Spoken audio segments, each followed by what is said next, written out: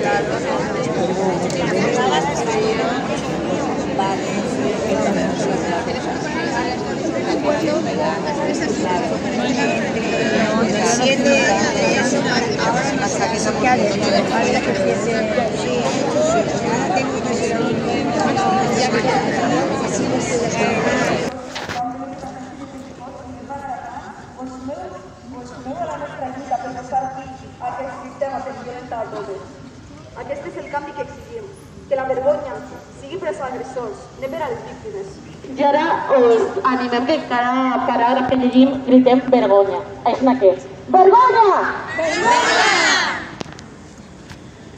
El recent descobriment d'una xarxa de prostitució de menors a Múrcia ens recorda que vivim en una societat que tolera i normalitza la mercantilització del cos de les dones, especialment de les més vulnerables. La prostitució, especialment, quan afecta menors, és un exemple extrem de l'abús de poder, on els homes amb privilegi exploten i destrueixen la vida de nenes i joves. La vergonya hauria de ser per a qui abusen, per a qui consumeixen i per una societat que permet que això passi. Vergonya! La violència de gènere no és només la conseqüència de casos aïllats, sinó el resultat d'un sistema patriarcal on molts homes exerceixen poder de dominació sobre les dones. Aquest poder es manifesta en totes les esferes, des de la llar fins al lloc de treball, des de l'espai públic fins a les institucions. L'abús sexual, la violació, la intimidació i l'explotació són símptomes d'una cultura que dona completa impunitat a aquests comportaments. La vergonya ha de canviar de bàndol i, és, i els que abusen del seu poder han de ser assenyalats, denunciats i castigats. Vergonya!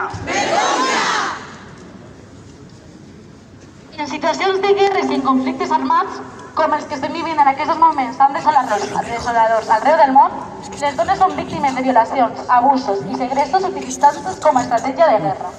Aquesta violència és una arma de terror i humiliació. Les dones que sobreviuen a aquests horrors són sovint marginades, oblidades i culpabilitzades. La vergonya ha de canviar de bàndol, dels cossos de les dones a les mans que sostenen, que sostenen les armes. Vergonya! En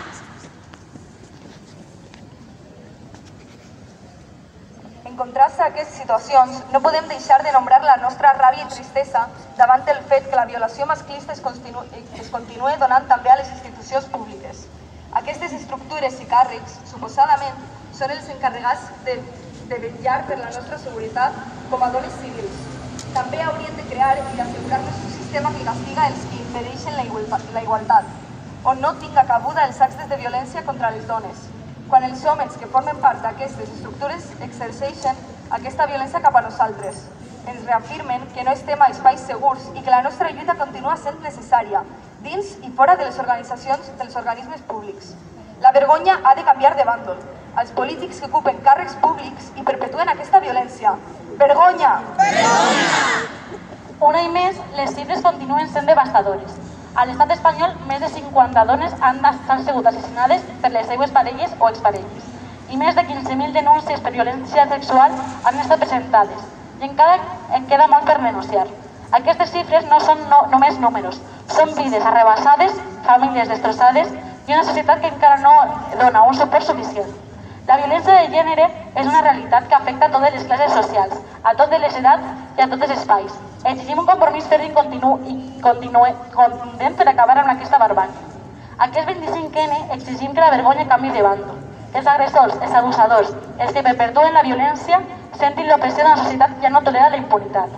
Reclamem justícia per a totes les víctimes, suport per a les dones que lluiten per la seva llibertat i un canvi real amb les cultures i les institucions. Violència, prou d'abusos, prou d'impunitats. La vergonya de canviar de bàndol.